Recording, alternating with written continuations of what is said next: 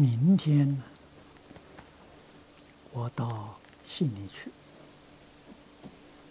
啊，后天呢，八号参加那一边呢有一个这个大学的教育基金会啊开幕典礼。那么九号呢，在悉尼有一场讲演，还有那一边一些记者们呢来访问。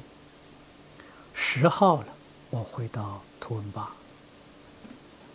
啊，在那边住五天，啊，十五号我到香港。那么十六号呢，我们就开始在凤凰电视台，啊，录一套啊。了凡四训，啊，他给我二十个小时，啊，这一次完成。那么我希望呢，这个能够在五月一号回来。哎，五月三号啊，我们这个天主教还有一场玫瑰经的讲演。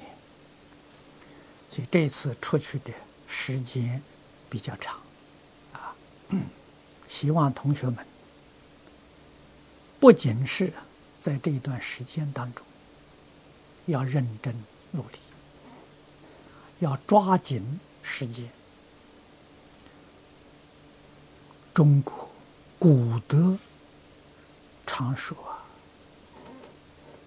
一寸光阴一寸金啊。”寸金难买寸光阴啊！一个人能够珍惜光阴，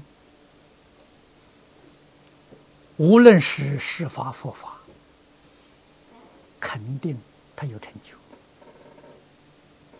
如果是浪费了光阴啊，那就错了。啊刚才香港同学给我打个电话，问我《了凡四训》录完了之后，是不是有机会啊到大陆上去旅游？我说没有，我没有这个意意意思。录完之后回到香港啊讲经，啊照常讲经。我们来到这个世间，不是为旅游而来的。啊，我们来到世间不是为名闻利养而来，啊，我们是为修行弘法而来的，啊，修行弘法就是我们的命根，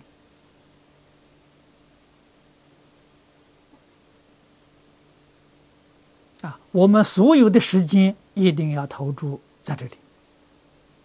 决定不可以浪费。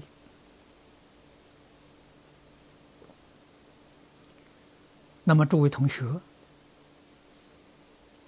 你们在此地这一段的这个机缘，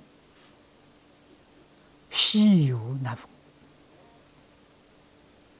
啊！你们遇到居士林呢，这个修建的。工程，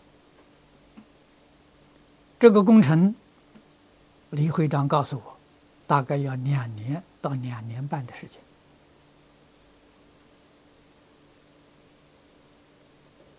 啊，我们的讲堂、念佛堂撤出来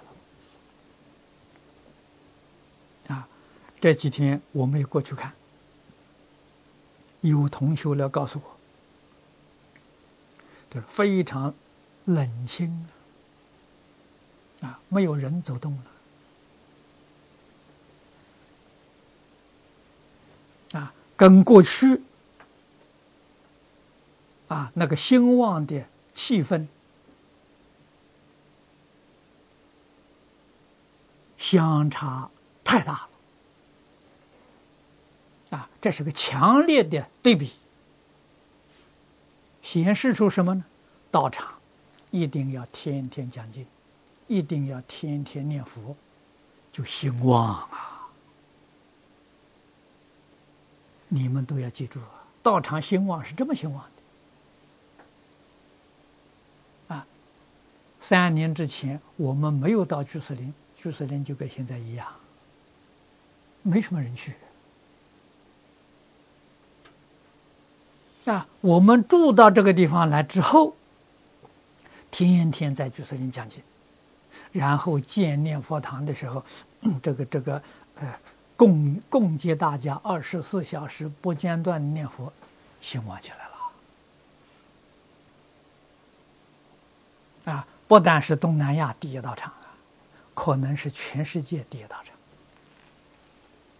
啊，我们提供免费的这个餐饮，二十四小时不中断的供应，啊，每一天吃饭的时候得一千多人，星期假日三四千人。啊，那个兴旺的气气，这个气氛令人羡慕啊！啊，那么现在呢，又恢复到从前的样子了。这就是告诉我，明显的告诉我们，道场一定要弘法。啊，讲经是解门呐，念佛是行门呐，戒心相应呐。讲经是学风啊。念佛是道风啊，你这个道场，你有独特的学风道风。祝福护念，龙天善神永护啊！你看我们讲经讲堂，啊，念佛堂，许许多多同修常常来跟我讲，有不可思议的感